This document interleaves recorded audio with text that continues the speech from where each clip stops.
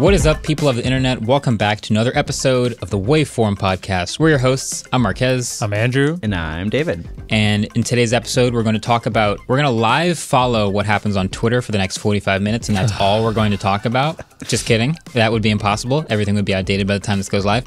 Uh, no, we're going to talk about some interesting concepts, actually. Uh, how Xiaomi put out this little idea of some some extra camera lenses on a smartphone, how it might be kind of cool. Also, how Apple may have made noise cancellation worse. You might have seen some headlines about mm-hmm. that. We're going to talk about it. And also, what in the world is Matter? But first, no, seriously, let's talk about Twitter for a second. For, just a second. Quickly, just yeah. a second. second. Just like it's been absolute chaos. So, uh, from the top of the show, the reason we're not talking about Twitter all the time is number one, I made a video which I think concisely summarizes my general thoughts on Twitter, what I have seen, what I'm hoping to see, and as someone who really likes Twitter, uh, some suggestions. It's like a, so, a cry out to like, please don't I, don't die, Twitter. There are like whenever I make a product suggestion, I find that there are real product managers who like work on these products that see these things. Obviously, Elon's in charge of Twitter, but there's still people who work on Twitter stuff that like take suggestions. And Elon does follow me on Twitter, so I was just like, here's the here's the stuff I'm seeing and what I'm thinking. And then if I tried to like cover all the updates of things that are changing on Twitter since then, I would never be up to date because there's too many of them. Yeah. So I think we're just gonna leave it at that. Like the last thing that happened, for example, five is, minutes ago. Yeah, literally as as we were walking into this room here, it was like they added a second badge briefly for a few hours where you'd have a verified badge, but then there was a second un- underneath it that had another badge and said official. So everyone who had a verified badge before had a verified badge, and that would be the Twitter Blue verified human badge. And then there was an additional badge that would say you're an official person, meaning you're a high profile someone who would normally have had the old verified badge like you're the only official one of that person. And so some YouTubers, some journalists, some blogs started getting that official badge. And uh, probably about an hour and a half ago, I tweeted a screenshot of it because I had two badges now on my profile. And uh, then an hour later, it was gone. And they just deleted them from the entire website. And that's what happened. That's literally what happened. They just appeared and disappeared. They tried something. The product manager, project manager for that official badge, she tweeted out this long thread about like why they're thinking about doing this and like what their opinion on it is and why they're specifically going with a second badge. And that tweet was relevant for about an hour and a half. Yeah. And well, then, she did tweet it 18 hours ago. So it was like it oh. started last night, and then yeah, now okay. less than 24 hours later, all of that means nothing. I saw her tweet on the train this morning, and then by the time I yeah. got to the office, it was gone. so. I think there's a good amount of West Coast people who are going to wake up who were double double verified overnight for some time and had no idea what happened. Never saw it. Never even got to see it. Amazing. But I have a screenshot of when I was double. Yeah, yeah. You so. you can remember the one hour yeah. that you were double verified. Yeah, it really happened. Uh, anyway, so that's that's Twitter. We'll, we'll, you know, if something else happens, maybe we'll we'll have like we'll ring like an alarm in the middle of the yeah. podcast, like something new happened on Twitter. Let's talk about it. I think Ellis is keeping an eye on it, and maybe yeah. that's our Twitter, Twitter alarm. Alert! If something worthy of pausing happens, just sound the alarm, and we'll we'll see what's trending on Twitter at that moment. Anyway, um, let's talk about this Xiaomi concept because it was kind of interesting. What do you want to break it down? Because it was first like a leaked thing, and then it was it was yeah. confirmed, and now Xiaomi's teasing it a little bit. Yeah. So Ice Universe on Twitter, or I guess Universe Ice, as he always usually does. Um, mm, Sorry, I just like how the tweet the tweet in here that you screenshotted has the official mark. Oh yeah. So I screenshotted it this morning before it was taken away. Incredible. Yeah. Uh, so he leaked this screenshot of this basically Xiaomi 12S Ultra, which had a full Leica lens attached to the back of it, and everyone started like freaking out. And pretty soon after that, Xiaomi officially put out their concept phone, which is the 12 the Xiaomi 12S Ultra concept. Uh, effectively, it's like exactly what you would think, where they added a second 1.0, 1.0 type sensor to the phone Mm-hmm. And then that sensor is not covered by any rear elements. It's not covered by any glass. Okay. It just has the sapphire glass over the top of it. And then there's an adapter that sl- slaps onto the back of the phone, and then you can put a full Leica lens on top of that. Yeah. Um, so you're basically just like condensing the light with way more glass with a full Leica lens to get a better image, which adds a lot of different things because things like depth of field are a function of the amount of z depth that you can have between the sensor and the lens. Yeah. So, I mean, you're gonna get better image quality. You're gonna get better like real depth of field instead of like bad portrait mode and all this stuff. And I think they just mostly did this because they have that new partnership with Leica now, um, because Huawei and Leica are no longer best friends. Now Xiaomi Yeah. is Leica's best friend. Yeah. So I, I don't know. I think that Xiaomi likes to move fast and break things, just like Twitter, and uh, they create a lot of random stuff. Um, so this seems very interesting. We have uh, we've seen other stuff like this before. Yeah. Sort of like we saw the red hydrogen, which is what Which we all the the beautiful giant stinker of the Yeah. red hydrogen. Um, That was allegedly someday going to get that's the problem like was it like it was supposed to have a module I think that would have a sensor and then that sensor would be able to put a lens on it. We never got Is that any it was? modulars. I think that's what it was because the Yeah. regular camera sucked on it. Because I remember I was really really excited because I used to use all Fuji cameras and Fuji lenses, Uh-huh. and it, that was part of the compatibility list. It was that you could use like Fuji lenses. I think they originally said A couple uh, like ideas. modules that they were going to have, but there was nothing to go directly lens onto the smartphone camera aspect of it. Right. Yeah, and no, none of that ever actually got made either. No, and they, they they kept promising to me because I made my first review video and there was like one module I think the, the the pins on the back of the phone, and I was like, yeah, so there's no modules. If you're gonna like sell the phone with the modules as a feature, maybe you should have like a couple first party modules out. And they're like, oh yeah, trust me, this next one's gonna be amazing. It's gonna be the camera thing. That never happened. But one the other one that I that I thought was cool is what Sony did a couple years ago, which was an Xperia smartphone that had it was again it would attach essentially an entire digital camera to the back of the phone. But it was in the form factor of like just adding a lens to the back. You would attach it with a bracket when it touched the back of your phone, it would pair to your phone via NFC, and your phone is basically a Bluetooth viewfinder for this nice sensor with nice glass. That was kind of cool. yeah. Uh, it didn't sell. Most people just use their smartphone cameras anyway, but it was kind of cool. So it's like the Samsung Galaxy Zoom, except you ripped off the zoom lens Yeah. and made Yeah. it separate. Yeah, And then it's still like nice glass, I guess, is nicer glass, but this is like you're using Yeah. glass that people are actually using on like photo cameras. nice cameras. Yeah, these are seven to eight eight thousand dollar lenses. That's so crazy, It's yeah. not like an f five point six to f eight. Like yeah, I think the most important thing about this is that it's a concept, and there's a lot of baggage that comes with the word concept. One is like when you go to CES and you see a bunch of concept cars, you have no expectation of that car ever coming out, right? It's like a test thrown out into the winds by the manufacturer to just see what people think. Mm-hmm. And maybe they'll make something like this someday, but this is not a real product.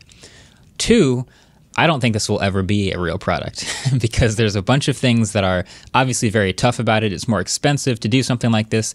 The, the 12S Ultra already has an incredible camera and it's also a very expensive phone. And so to make this adjustment to it and sell it and sell lenses would just be a crazy expensive system, at which point you might as well just buy a camera, which most people will do. And then there's the physics question, which is a sensor this small with glass this big letting in this much light would actually create an effective depth of field of maybe like one to two inches. It would be an incredible shallow depth of field. super shallow. So you get a lot of light in, but your your profile, your your picture of a face would be like the tip of the nose would be in focus. if you'd have to shoot at like f twelve all the time. Yeah, it'll be tough. So there's a bunch of reasons why I think it's going to be a concept, and it's like Xiaomi going, "Oh, we thought of something, and we're not going to make it, but we did kind of put all this work into engineering samples. Let's just like share the concept." Remember the OnePlus concept Yes. phone Yeah. at CES that one year? It basically it took um, it had that special in that glass that can darken using electricity, electric current, and it basically created like an ND filter over the lens so that you could do long exposures and stuff. yeah. Yeah, they made a whole fuss about this, but of course they never launched it. That was actually this the first time I met you guys in Yeah, person that was. too, because I left my tripod Oh, yeah. at, at the like OnePlus event. Yeah. I was Yeah. on the other side of Vegas and I sprinted all the way back that was and at I like showed up and Sands like, or like something, a different hotel, and Yeah. yeah, Yeah. that was fun. was but funny, um, it, it- this is kind of cool, and it, it doesn't look like they have to do that much. You know, like for a concept, the Xiaomi 12 already looks like this, right? It's like a circular camera bump. Pretty so close. It's not that much different of a form factor. I would say though, I agree with you. I don't think we ever see this. At best, this is going to be like what was that one Sony Xperia that was like two thousand dollars and was supposed to be essentially like paired with an A7 and be like the extra viewfinder. Oh, yeah. Xperia Pro. Remember? Xperia Pro. The Pro. This Yeah. feels like at best could be one of those like insanely niche like like you're someone who has a like a camera already like you have these lenses so you don't have to pay a bunch for these but if you're bringing those lenses you're probably bringing your camera already right Yeah. Yeah. If you have to pack like two or three of these lenses, Yeah. that's enough volume in your bag for the what? camera body a nice camera. not that much Yeah. more and Yeah. leica cameras are already fairly compact as it is so Yeah. yeah. i mean the kind of cool thing about this is a lot of mirrorless cameras are effectively just computers you know This is Yeah. why I want like so the Hasselblad UI on the back of their cameras is pretty good and like pretty smooth, but I keep saying like the Samsung Galaxy camera was ahead of its time because what we all really want is our phone, which we're really used to, to take mirrorless, incredible like photos that we see all the time with shallow depth of field and everything like that. So we keep trying to combine them and like, what if we bring like a lens from this world and just mount it on the back of our camera? And it's like we want the great cameras, but we want the UI of our phones. Yeah. It's like if we find a good way to merge the two, we'll be set. I think what we need to do instead of building onto our phones is bring the phone UI to a nice camera. Yeah, oh absolutely Basically, Oh, make it run. Android and have a nice camera. yeah they all all the uis on all cameras most cameras suck yeah Sounds so except much for like- like hasselblad and red basically uh, this sounds so much like legacy car manufacturers I was going to say that. Yeah. There's three things you can count on the UI sucking, which is cameras, in in car infotainment yeah. systems, and printers. It's those Oh, yeah. those three things. They'll never be good. There's Yeah. just there's some law of the universe that prevents them from being kill good. all printers Yeah. So I will say um, that I think that using physics to take photos is pretty much always the way, and that we, in a lot of ways, we have over computational photographied our way into Too far, a you think? Yes, absolutely. Yeah, yeah, yeah. hipster What I mean, I don't know if you look at if you look at modern pixel photos, they're like over sharpened and over contrasty. And that's just because like the hardware in other devices is getting better and the sensors are getting bigger Mm-hmm. to the point where you don't need to lean into that processing as much. Like it saved bad processors or bad sensors. Yeah. But it doesn't need that as much anymore. Obviously, like you guys said, if you're gonna already carry around these lenses, which are Yeah. huge, it doesn't really make a lot of sense. Mm-hmm. But I'll play if I play devil's advocate. I think, and we're this might be a spoiler alert. We're gonna do another blind smartphone camera test this year, and I have a feeling the ones that do a lot of computational photography are going to do well. Yeah. and that's like kind of what people. It's like appealing to what people want to see in their in their eyes. So it's like, in order to get closer to the ones that have the physics advantage, you have to do computational photography. But it is, yeah, it is debatable. Like, are they going too far? Is it just bad computational photography? I don't think it's bad. I think it's just that what use we used to think was good now feels bad compared to everything else. Hmm. I think it's just like comparatively. But that's this is also coming from someone who like I I want to be able to do a lot with my pictures and Yeah. you know. So anyway, cool concept. Cool concept. Cool concept. We'll see if uh, Xiaomi follows up on it at any point in the future. i really want to hold one Yeah. this entire thing in one hand. The yes, phone is there's already, a photo of it in, in the dock Yeah. it is The it center looks of like a pig the center of gravity on that thing is probably just the lens. Yeah, I you're- just you're you probably just hold the lens and you just tap True, the screen. Yeah, yeah, yeah, for sure. yeah. Well, we'll take a quick break. We'll come back and we'll talk about some other stuff. But before we do that, it's trivia time. and producer cam trivia Producer time. cam. Oh, we should fire up the producer cam for the first time ever. Let's hit it. Amazing. Should you clap? Well, welcome. I didn't get warm. Wait, we were muted. Oh. That's the best possible beginning. that's our of producers producer making cam. their job as hard as possible Yeah, they're doing that to themselves. uh, trivia time, trivia time. Also, Bang. but yeah, Ellison and Welcome. Adam, welcome to being on camera on the podcast. Hi, folks. It's a good time. Yeah, we are now on camera for trivia and trivia only. And we both wore green sweaters completely on accident. That Yeah. was not an accident. No shot. You knew it was are producer no We know cam what's happening. Okay, trivia time. just green screen yourselves so that you're just floating heads. oh God, no. Okay. In 1999, a company called Zip2 was acquired by Compaq for 307 million dollars. Which modern-day tech juggernaut was one of the founders? All right. Okay, I, I, I know what it is. Yeah. yeah me too Cool. Got it. really? Yeah. Okay. yeah. Okay. See you after the break. Break.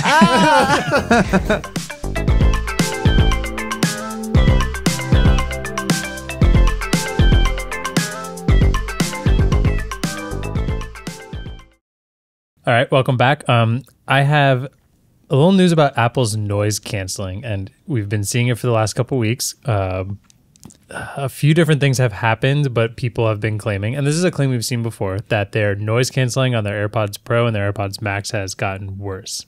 Okay, this is this is one of those things I've seen headlines and a couple of rogue tweets about, but I haven't actually investigated it. Okay. I do regularly fly with AirPods Max, so I'm I'm interested. Okay, I'm going to try and there's a lot of different um, like theories and stuff out there. I'm going to try and say the facts first, and then we can go over the theories, and then we can go over what our theories are, and Facts then and Ellis can tell us why everyone's wrong. Sounds good. Ellis Okay. was very heated about this this morning. Yeah, he- so he'll come in. Okay. Um, so pretty much, people started claiming. I said this already. Noise cancellation getting worse in AirPods. They think they noticed AirPods it. Max in particular. Max, but I think some people are also saying pros as well. I Really? think it's both of them. Yeah, Oh. but I think Max are the ones that kind of sparked this very specific because what happened then is the update came out in May. A website called I believe it's pronounced Ratings. It's Oh, yeah. R T I N G S. Mm-hmm. Um, and they did a test finally to kind of try and prove this, and it did seem like there was a slight change in the cancellation between. It says there's a slight change in the canceling of noise between the mid bass to high bass range.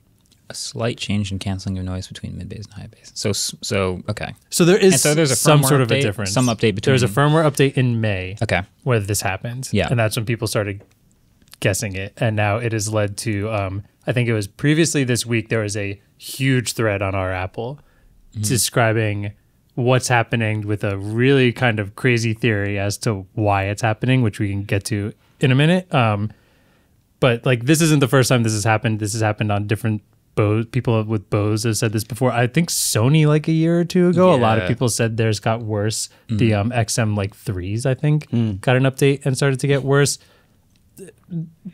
I'm just gonna go over a couple of the theories that people think why this might be happening, Okay. and then I kind of want to talk about it because it's also one of those things where when you're dealing with these small different noise cancellations it's, it's things you hear there's all kinds of different things that can affect that there's placebo if i tell you can tell someone your phone's feeling slower Yeah. and then somebody might be like oh mine feels slower too Yeah. who mm-hmm. who knows if something actually so we did get a test to prove there was a small change but a lot of people are thinking it's potentially because of and i think everyone who's used over ear noise canceling headphones and maybe even in ears that pressure feeling you get Of like a really strong like- noise of like a- cancellation. of like almost feeling like you're getting trapped inside of pressure because of the noise cancellation. It, Yeah. it feels like you're getting covered up over your ears.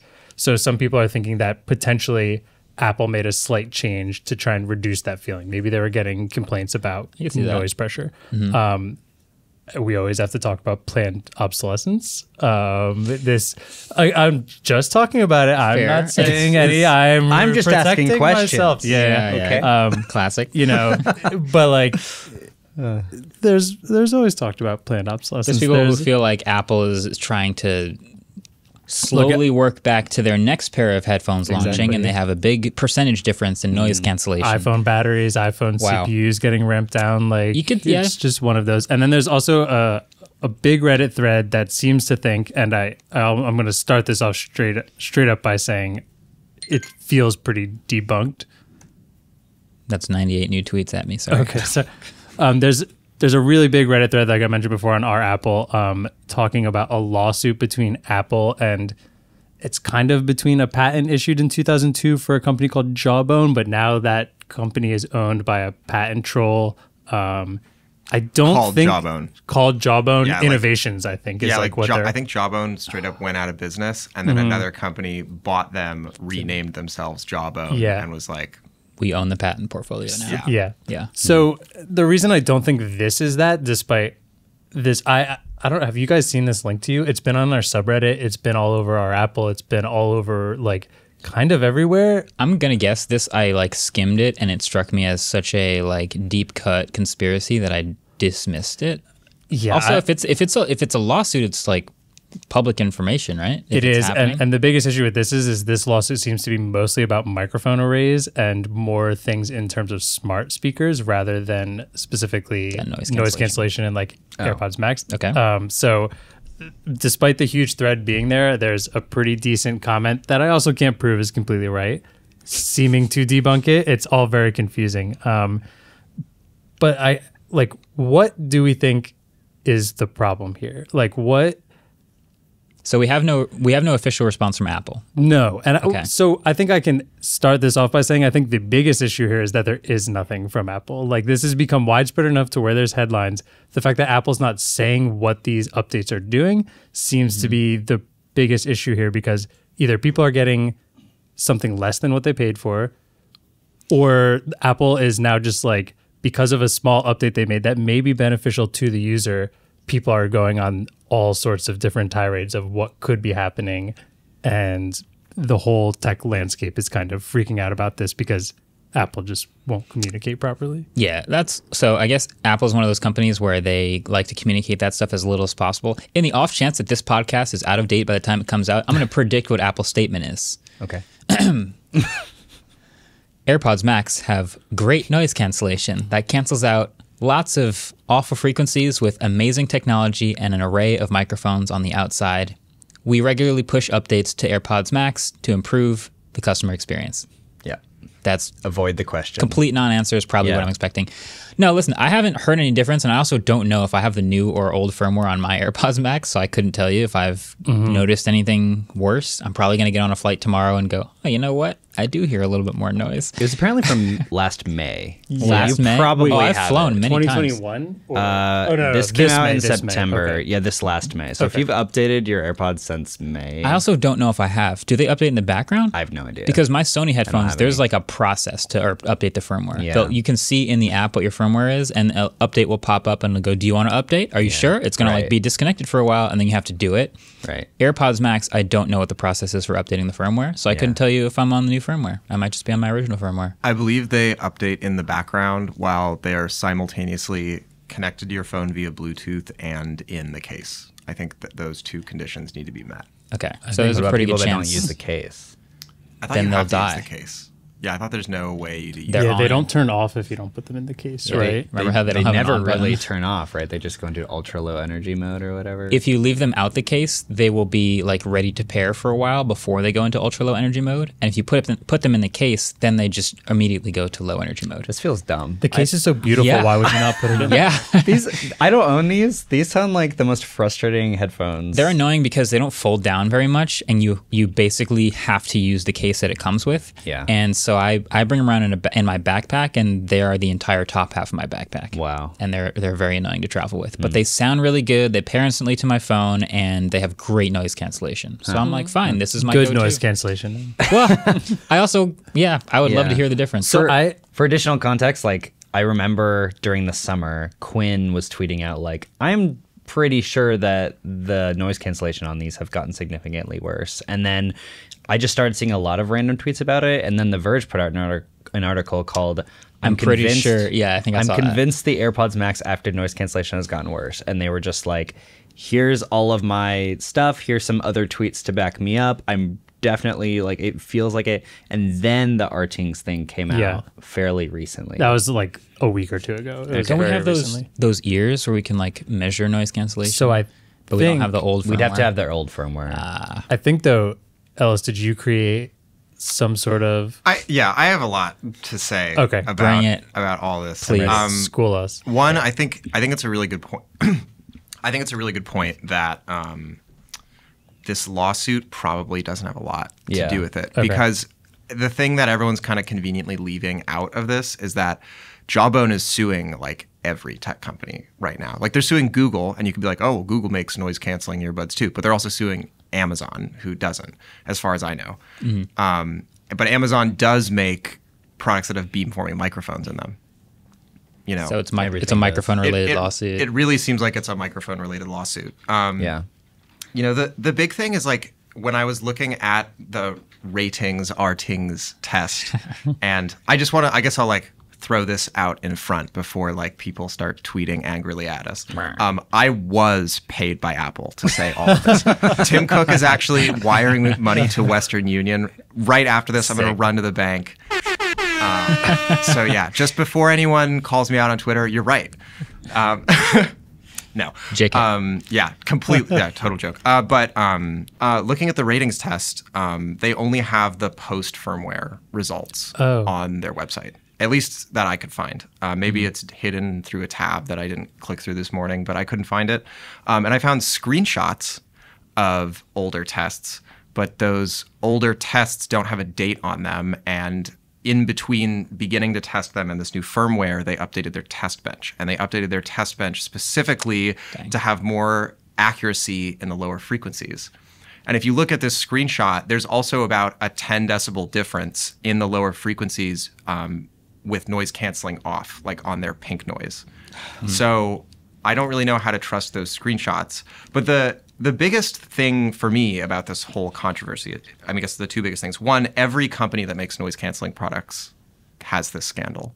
It's happened to Sony.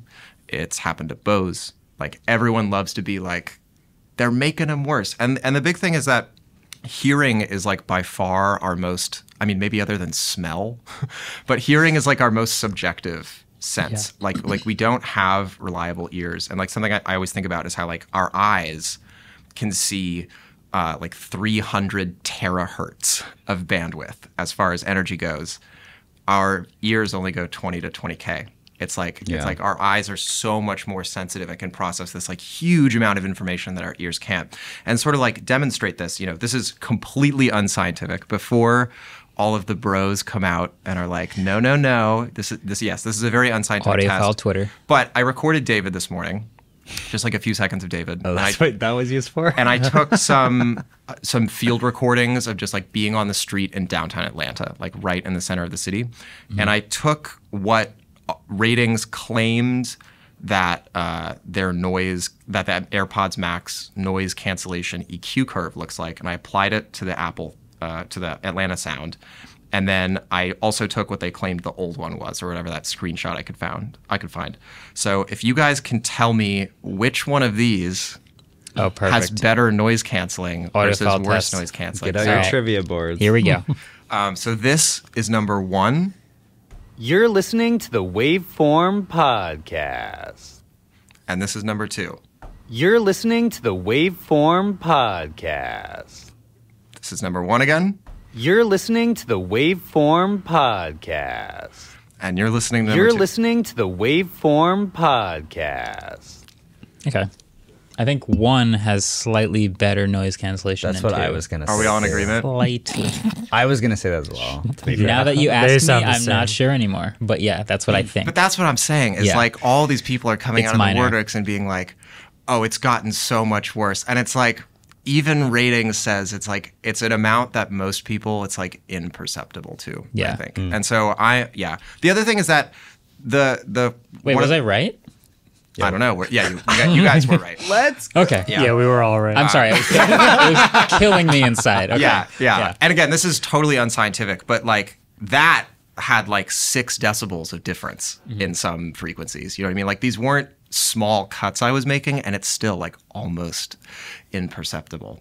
Um, I know nothing about audio. well, and the other thing is that these Clearly. these headphones have microphones on the inside of the cups, right? And so what they're doing there is they're actually listening to what's going on in between your ear and the driver, and that information is playing a big part into oh, I need to be taking out more of this. Oh, I'm taking out too much of this, right? Yeah. Um, and if those microphones get gunked up by your dirty skin and your oily hair and whatever, Usage over time. they're going to work less. And I couldn't find a single comment of someone being like, "Yeah, I took some Blu Tack and cleaned out the microphones." Yeah. Yeah, this is like a there I always think like when I when I listen to when I read audiophile based reviews of like headphones and audio products and there's all this description of like all everything that happens in each little frequency and the sibilance and the sound stage and every and the the bass and the sub bass and all that stuff.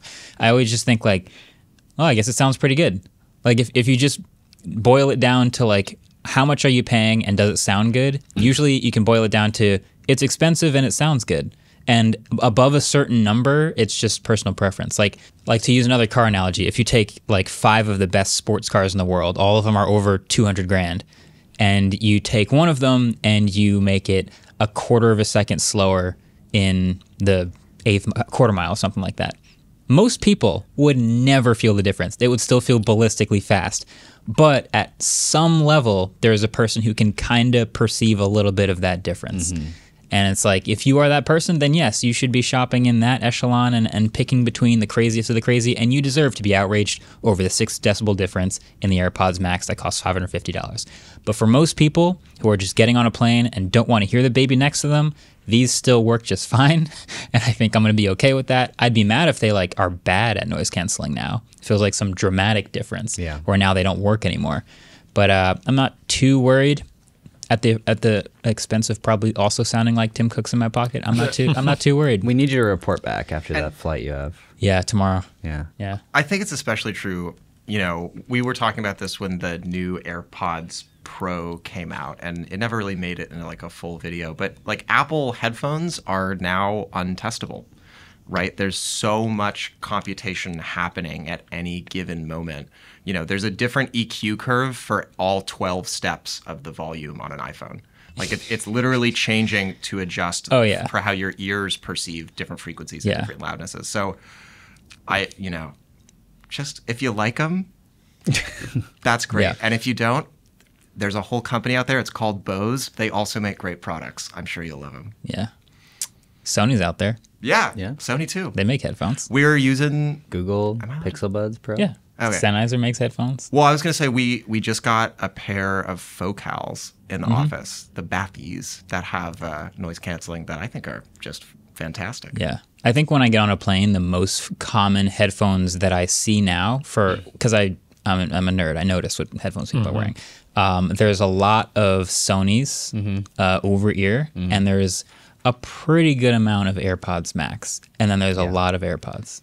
It's crazy because it used to be the QC35s It for used to be- every Yeah, yeah. single Yes. person. Not that very long ago. Crazy. Not very long ago. Yeah, A lot, of business lot people. Bose. Still. I do use these Bose. We talked about this Oh. a couple of weeks ago. for flights. yeah. The hilarious thing about this, uh, these are the Bose earbuds 2 or I think they're quiet something. comfort. I think quiet comfort QC, earbuds but 2. Yeah. Yeah. The funny thing about these is they cut, they are the best noise cancellation headphones I've ever used. They cut out every frequency on a plane except for a frequency that I couldn't hear when I didn't have them in from the air conditioning. There's one air conditioning frequency that I can't hear when I don't have them in, but it's just it doesn't cut those out. So That's it's like funny. like Oh, the no. whole time I'm on the plane, and I'm just like, oh man. Yeah, yeah. But otherwise, they're great. So Cool. So I think the uh, the end to this is clean your headphones out, please. Yeah. Yeah. Clean that out. and Clean I would those mics. I would love to see a response from Apple, even if Yeah.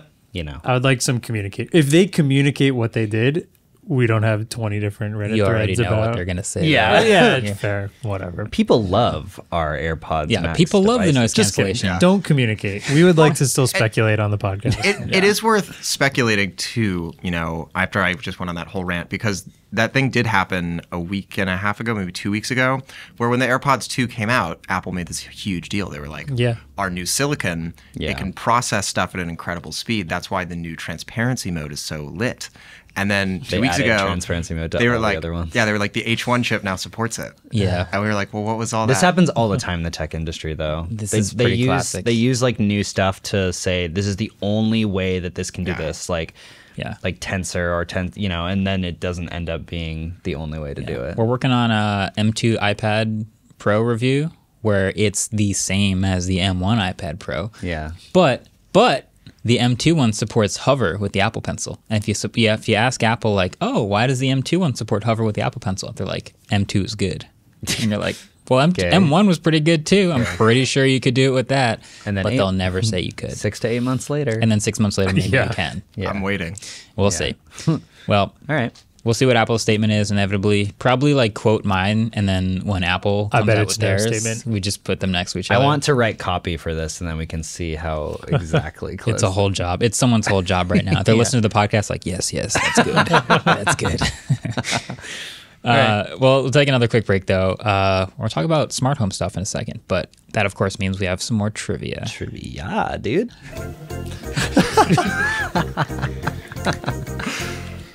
The word metaverse was originally coined in a science fiction novel called Snow Crash. What year was that novel published? And we're looking for the closest year. I don't. I don't know. I think I know this. I definitely don't know. yeah.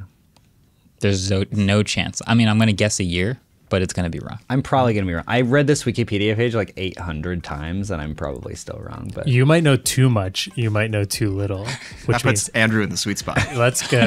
Goldilocks. baby. randomness. Incredible. probably closer. We'll give the point to whoever's year is Closest. closest. Yeah. Yes. Yeah. Okay. Yeah, sounds perfect. All right. We'll be right back.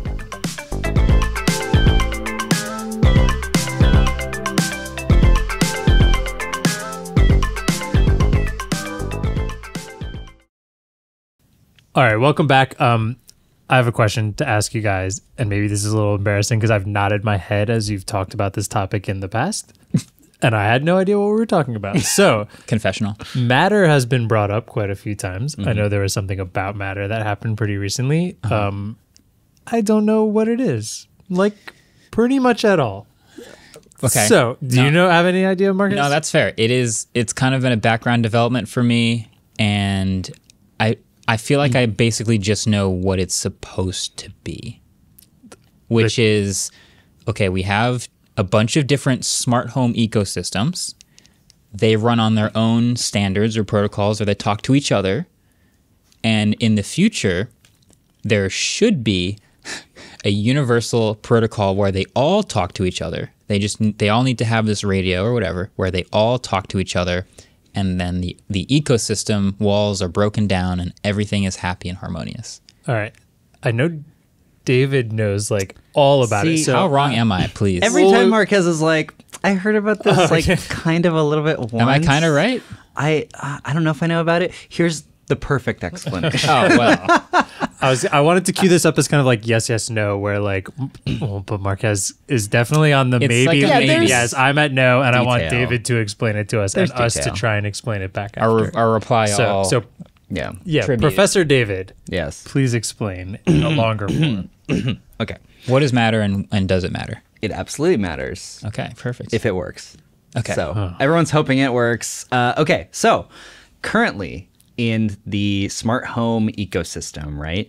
Way back when Amazon Alexa was first invented and the Echo came out, and it was like one of the first smart home products that was available, right?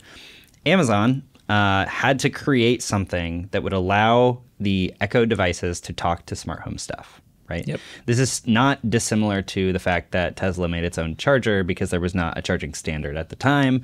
And now we have this kind of mess where Tesla has its own charger and then there's CHAdeMO and all this stuff. right? Lightning USB C. Sorry, Yeah. go on. Hmm. So as the smart home ecosystem built out and players like Apple with HomeKit and Google with Google Assistant came onto the market, they kind of just like made their own stuff. And so now when you go to the store, when you go to Best Buy or like some store and you buy smart home stuff, there's all these labels on the boxes that say like works with Alexa, works with Google Assistant, works with Apple HomeKit. Mm. And this is a big problem for a lot of reasons because you can't just go out and like buy smart lights now. You have to be like, okay, well, what's my beacon device that I'm using as my main voice assistant to percolate this stuff throughout my house, right?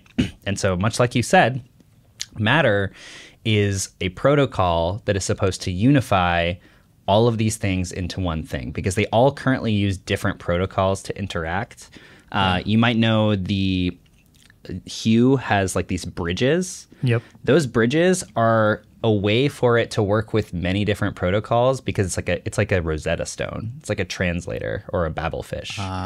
Like one of those protocols gets sent, it hits the um, the bridge, and then that converts it into the other protocol that needs to be used for the light or whatever Okay. right? So Matter is like amazing because 300 companies, 300 plus companies Oh. that make smart home equipment, including Google, Apple, Amazon, and then like all of the main smart home accessory players like TP Link and like all these guys came together and they say, okay, cool. We're all going to use Matter because they realized that while there are many benefits to having walled gardens, there is also limits to having walled gardens. You Yep, know, yep. If you are trying to make an Apple HomeKit house, but you can only build out, you can only use so many accessories for that Apple HomeKit house. But you want to buy this one accessory that only works with Google Assistant. Maybe you think about moving over to Google Assistant. So Apple actually does have some incentive to actually go out and support this ubiquitous ecosystem Okay. right? Um, now, the really cool thing, th- this is not dissimilar to how the internet was formed in the first place, right? It's basically Matter used to be used to be called CHIP, which is Connected Home over IP. And if you know anything about internet protocols, that's really awesome mm-hmm. because it basically means that all of this stuff is coming through just one singular protocol that is coming through your home. So, one fundamental part of Matter is called Thread. I was And- just about to ask because I keep hearing. I, I literally just I just googled what is Thread oh, because I okay. remember that it's a thing that's connected to Matter. Okay. go Yeah. ahead. So Matter is actually just an application layer that's sitting over Wi-Fi plus Thread. And Thread is this really awesome thing that basically allows each individual smart home device device to be its own little beacon. So they're all communicating with each other. Because the current way that things work are you go to your Google Nest Hub and you say, hey, turn on the light in my bedroom. And that Nest Hub has to connect to the internet, send that data to a Google server somewhere, send it back to your home Wi Fi, ping it off your Wi Fi, hit the light, and then turn on the light. But Thread is basically you're making your own little intranet mm-hmm. mesh network. Oh, and the reason it's called Thread, if you could think about this, is that you have all these little devices and they're all communicate with communicating with each other. Yeah. So like this light is going to this smart audio speaker, which is going to this. And there's kind of like data being sent through all of these devices at the same time to each other.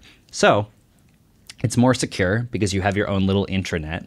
It's way faster. Faster, yeah, okay. Way faster, which is great for like smart lights, right? Yeah. Because now you don't say turn on my light and then it's like ding. Yeah. You know, it's just Yeah. kind of instant. As soon as it recognizes the command, it sends it. Yeah. And the amazing thing about something like Matter is say you are using uh, Amazon Alexa and you have a you have an Echo in your home, but you really want to use like a Google Nest Audio for your music. Now you can tell Alexa to play music on your Google Nest Audio. Okay. That's- so I'm building this analogy in my head, kinda, and it's how I'm going to try to understand it all. Yeah. Which is like virtual ports. So ima- you, you know we have Lightning and USB C and Mini USB whatever. So I'm imagining like you know Alexa's or Amazon's ecosystem. They all used one imaginary port to talk to each other. Yeah. And then made for iPhone or HomeKit was a different port. So now if you wanted to use things from two different ecosystems, they'd have different ports on them. Mm. And so something like the Philips Hue Bridge would be like a box with all of the ports on it, where you, it's like an adapter, Yeah, and it would, it would plug into two different things, which is kind of cool. And then it does make sense now if this new big universal port is coming along to support it. Do they also, I guess, continue to support their own individual standards along the side? I guess it's fine. But I if believe- everything supports Matter, Yeah. then it's whatever. I believe they can. Um, so a lot of devices are going to be launching from this month going forward that will have the little Matter logo on it, which Sweet. just makes means you can just set it up super fast and it's really awesome and easy.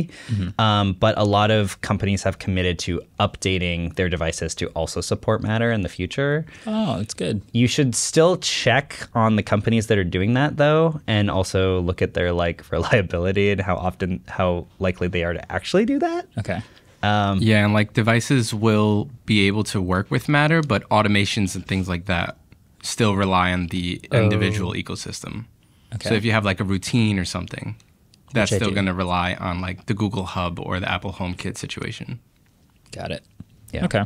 But yeah, it's it's great because it's way faster, it's more secure, and then everything's like a mesh network too, which is cool. So if you have your Google Nest Hub in one room, and then you've got a random Philips Hue bulb in the next room, and then the next room past that, you've got some Wyze bulb. Even if that Wyze bulb was not like able to connect directly to your Google Nest Hub, because there's devices in between, they literally work as mesh networks. Yeah. Yeah. I'm looking forward to that. My current smart home situation, it's fine and it, it works okay because I have a bunch of accessories that all have Google's virtual port, if you will. Um, but they are still annoying because Nest does make their own like mesh network based on their own protocol. And so like I was trying to connect my my uh, lock on the back door the other day, mm. and it kept trying to use the doorbell on my front door as the as the mesh network thing. So it wanted to be connected to both at once, and I was running back and forth from the back door to the front door to try to be close enough to get my phone to pair to both of them so that they would talk to each other. Yeah. and it was a nightmare. So ironically, the Nest, the old Nest before Nest got bought by Google, Yeah. they were the ones that actually got this in motion. Yeah. because they wanted this to happen. I think um, there used to be the Zigbee Alliance, and Zigbee was supposed to be the like connecting thread thing. Sounds like a Muppet. Uh, yeah, I know. Yeah. Sorry, Matter Matter sounds cooler. The Yeah. Zigbee Alliance is amazing. Okay. Yeah, but now it's like the the connected um, something alliance. Yeah. So Oh, okay. Yeah, so they're just trying to get. And so anyway, the news. so this has been in the works for like quite a while, and it was originally supposed to launch, I think, in 2020, and then it got delayed, and then it was going to launch last year, and then it got delayed, and then it was going to launch in June of this year, and then it got delayed again. But the SDK actually dropped like this week, um, which is amazing. Which means there could be a lot of different companies that have been ready to just like ship products that are that are matter compatible and they have the boxes printed and everything's ready for the holiday season. They've just been waiting for matter to actually drop the official sdk so that they can use it. Um, but expect to see some products on the holiday shelves coming out for this year that have the logo and then you should look up like a list of uh, products that are either updating or have committed to updating By the way, that logo, just because I looked it up because I didn't know what it is, it looks like three curved arrows pointing inwards. yeah which i think that's Is the that idea the best way of It makes Okay. sense. Makes just, sense. just just in case you don't have you know you're in the car you can't see what this looks Yeah. like and Yeah, you're yeah. going to Best Buy and you see this now. I think that's sort of the idea. It's like it's like Amazon Alexa, Google Assistant, Apple HomeKit, and they're all just like pointing towards each other. Yeah, that's funny. That was the premise of my home tech video when I made it. And I got a, a couple of comments that were very highly rated, which was, oh, there's this one service that lets you connect all three of them. And it's like, it's kind of a hack, but it kind of works. And you can you can actually use things from HomeKit and Google Assistant all in the same thing. Yeah. And it's, it now sounds like this is actually going to be a tenable solution for Yeah. like most people to, to, to get just whatever they want. The fact that you can just go to the store and just buy smart home equipment and just use it. And Yeah. The setup process is also supposed to be way easier. Matter is trying to get everybody to have like just a QR code on their box, and mm-hmm. it sets up through Matter too. Love that. Um, but you choose you you still choose like the voice assistant that you want to use, and you have to use that voice assistant for everything. But you know the fact that you can play music on your Nest Audio from your Alexa speaker, like Yeah. that's pretty, Pretty lit. You know Or what's just- pretty cool too? It's completely open source, Yeah, which is like all these giant So- private companies that Yeah. have their own situation going on. How do they get made them to agree on this? That's This what is I'm like saying. the I- most well, incredible thing ever. the research that I did, like from what I understand, it's it's literally that they saw like limits to their walled gardens. Oh, That- they were that- like, I- we there are- can't get enough. Like Apple was like, yeah, there's a there's a good amount of HomeKit stuff, but look at that Alexa stuff over there. There's so many good things that we don't have and people aren't making for HomeKit. What if we could get that supported so people would use Siri more often? Yeah, exactly. I see. They want to use their their service way more often, so they're willing to let all of these third parties just like work with everybody. Yeah. I mean, do you remember Quinn's smart home video maybe like a year ago? Like there are so many hacks and stuff in there because HomeKit seems to be a, a couple steps behind in terms of like products that work well with it. So I feel like this is awesome for people who use HomeKit. Yeah. Uh, Amazon to me, it would always be like Amazon has the biggest selection, but the most variance in quality. Yeah. Uh, HomeKit has the smallest selection, but the highest overall quality of things. And then Google is somewhere in the middle with like some Nest stuff and stuff kind of usually works with Google Assistant. I think we're going to probably do another assistant comparison video. I still like Google Assistant the best, mm-hmm. so I just want to use the Google Assistant stuff, and Are that we- locks me out of the good HomeKit stuff. Are we all Google Assistant people? Yeah. Yeah, I that's think what I'm using at home. Yeah. Same? Yeah. Google Assistant, I mean, traditionally at least, has been like the best in terms of like asking you questions. I love it Google does stuff Assistant. locally and Yeah. yeah. And I would just rather use Google for those kind of things because if you're just asking questions from the internet, Google is obviously the one to Yeah, go to. very fair. Yeah. So yeah. Wow. Yeah, It it's pretty matters. awesome. I'm, I've just been like waiting for this forever, and it's been the news has been trickling, trickling out, and I've, like Andrew said, I've randomly dropped like, oh, but Matter we'll fix this like on the podcast. I definitely, it was like two podcasts ago, you're just like, something matter. And I was like, Yeah, man. Sounds great. Oh, yeah. Well, now that Can't we wait. know, it does sound really good. No, no, I'm pumped. I'm most pumped for the fact that it's just like within itself and Yeah. things might happen faster. I'm so tired of being like, hey, G word, um, like turn on the lights. And then I walk like all the way into this still dark room and then the lights pop on. Yeah. for me I also have I have two Philips Hue lights and I don't have a Philips Hue bridge. So every time I walk into that room, I have to open the Philips Hue app to turn those lights on. And I'm so tired. Okay. Yeah, the Philips Hue bridges will be updated, but future Philips Hue bulbs will not even need them. Okay, I'm just gonna throw out all my Philips Hue because of. Thread, because everything's a mesh network, right? Oh, but in theory, they can update my Philips Hue lamps to support Brit or Matter. matter. Yeah, I hope they do as many things as possible. Update them. yeah. That'd be How nice. how often do you change? Sorry, this is kind of sidetracked, but Sure. how often do you change the colors of your Philips Hue bulbs? Almost never. Get a smart switch; it's so much better That's than I've a smart light bulb. I've heard that. Smart switch. So like rather than in my house, I oh, got I rid of all my smart light bulbs and I have Oh, a smart yeah. switch so I can still physically turn the switch off all the time without affecting if I can use my voice command. Now, should think do it's that. so much better. They are lamps, oh, they're lamps. but that's fine though if the switch still talks do to the lamps. okay. Yeah. Because right, I, it's just a room with like one light in the middle. Oh, yeah. so yeah, I use the lamps to like light up the room. Mm-hmm. Yeah. And if I just have a switch on the wall that just turns the lamps on, I don't care about the color. Yeah. Just turn them on. That'd Yeah. be The The great. cool about thing that too is that you could use one switch to turn on a whole group of lamps, right? yeah, it'd be two. Yeah, Yeah, I love it. that'd be cool. So I'm gonna get a bunch of smart plugs, but I'm currently waiting to see what over the next like week or two there should be official smart plugs like dropping with Matter. Okay. I'm so excited. I'm I want to buy Matter supported every. I'm just just gonna keep using candles to light my apartment. Smart candles? No. Can't even. Are they even RGB candles? Like what- RGB candles. What is this? Someone replied. I tweeted that I just want way more lamps in my life, and then yesterday I bought seven different lamps, and someone said, "What, You brought seven lamps. bro?" Were I- any of them from IKEA? Oh my god. no. IKEA has great lamps. Okay, they were so weird and so cool. I got this one that's like a it's like a gyroscope globe, you know, the like weird like rotating around itself kind of thing. Does it move? Where's the light? No, it's just in the center of the. Globe. Oh, it moves around it? It doesn't actually move. It just looks. It cool. just looks like it should move. It was thirty dollars. I don't know. I don't expect $30. I wouldn't expect right, it to move. that's fair. But uh, I'm gonna buy a bunch of smart plugs. I'm just waiting for Matter supported smart plugs. smart plug or smart bulb? I bought a bunch of dumb bulbs that are the exact color temperature that I want Okay. because I'm not someone that would change the So smart plug color. for that. Yeah, Makes sense. Yeah, so Tight. Yeah, yeah. I'm excited for a whole new category of tech. Yes, and That's thank you for explaining it to us. Thank you You're for that. Now I know. Yeah. And now Look at me. Now we'll we'll have our minds blown and trivia answers by things we didn't know because I definitely don't know some of these. I think number one I'm gonna get wrong. All right. Well, trivia time. Do you have a whiteboard? Yeah, you do. Uh, I think we have both over here. Give here. yours. So the score Marques has 13. oh yeah. Andrew has 11. David has 8. I wasn't on the last two episodes. Me, me, me. I was in Yosemite. me, me, me, me. Yeah, I, to be honest, if I could trade some points and to go to Yosemite, I would do it. Is it worth three Wow. points? to Especially go to since we have no perceived prize yet. Okay, question number one. In 1999, a company called Zip2 was acquired by Compaq for $307 million. Which modern day tech juggernaut was one of the founders? Who wants to go first? Just flip it over. Oh, and read it out loud as you flip for our Okay. audio users, yeah, uh, audio listeners. You still thinking? I'm still thinking. I'll let you think. That's okay, take your time. No pressure.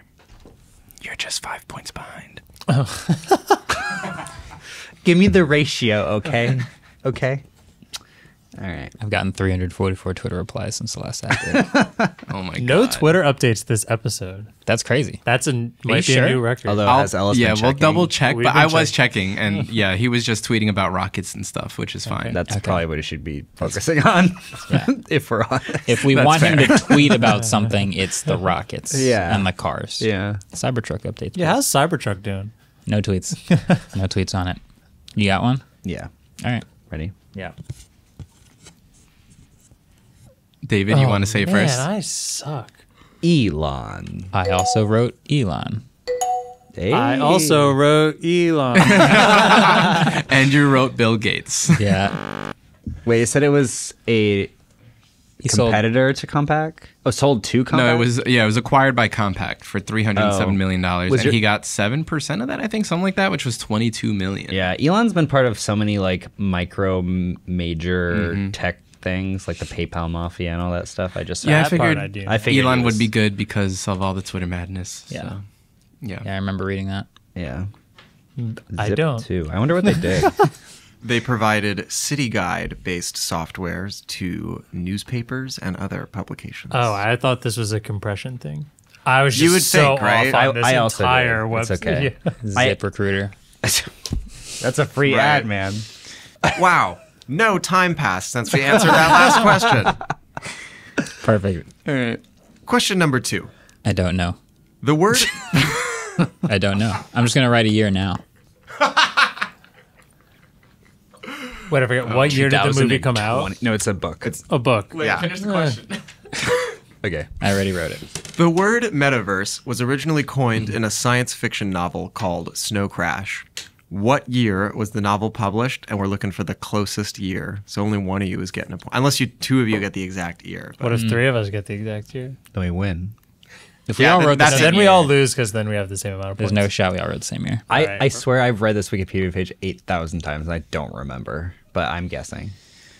Ready? nice. Oh, we're kind of close. So I wrote 1969. Yeah. I wrote 1982. I wrote 1972. Oh, really? But who's the closest? Who do you think is the closest? Me. Yeah, it is you. I was gonna do. Smartest man alive, baby. Uh, was it Damn, I 19 can't. Man, Wait, it's been a was while it since you guys have gotten one right. so Yeah. he wrote 96? Was it 96? It was 92. Oh. Mm. Oh. Wow, I, if I had guessed my second No guess, I would've way. Really? felt very 80s. Snow for Crash some came out in reason. '92. It- I did think it was going to be the '80s I thought too, this but it book was '92. kicked off the whole cyberpunk aesthetic. I don't know that. I only know that Metaverse. Oh, maybe that was the book. Neuromancer. Also, don't know that. Oh, anyway. I read books. I don't. I didn't. That was the most convincing. I, got it you. right. Yeah. It was really 1992. I could have come up with this concept in like 1930. this guy, this guy is not that smart. Oh, yeah, then why didn't you? Yeah. Checkmate. Uh, Sounds easy. What Who's were to you say- doing in 1930? Who's to say my grandma didn't? Okay, that was it. Okay, I was ready for the third one. I was like, I don't remember the third question. I always want a third one. Maybe not till our extra special uh, trivia bonanza. Season finale. I haven't decided if it's a trivia bonanza or a trivia extravaganza. I like extravaganza. What about like Extrava extravaganza? Extrava Bonanza? It's extra. It is extra, but bonanza is so fun. It's Like like, Dig Bonanza. there's So no- extravaganza is an extra bonanza. Well, but Ganza. can't argue with that I'll one. check the math on Where did that, the but I'm G not come too sure. from? I don't know. What's the etymology of extravaganza? I would like to know. That's a good place to end this produced podcast. Zimmer. That was Brogan. Extravaganza. Thanks for listening this week. We appreciate you all. Uh, thanks for subscribing. The Clips channel is close to a certain milestone. If you haven't headed over there and watched the clips, you should go subscribe. But also subscribe to the main co- podcast because that's when you get the first dibs on everything we talk about during the week. Catch you guys in the next one. See you. We're wrong about Twitter. Again. What? What are you looking at? Waveform is produced by Adam Molina and Ellis Rovin. We are partnered with Vox Media Podcast Network, and our intro outro music was created by Vane Sill.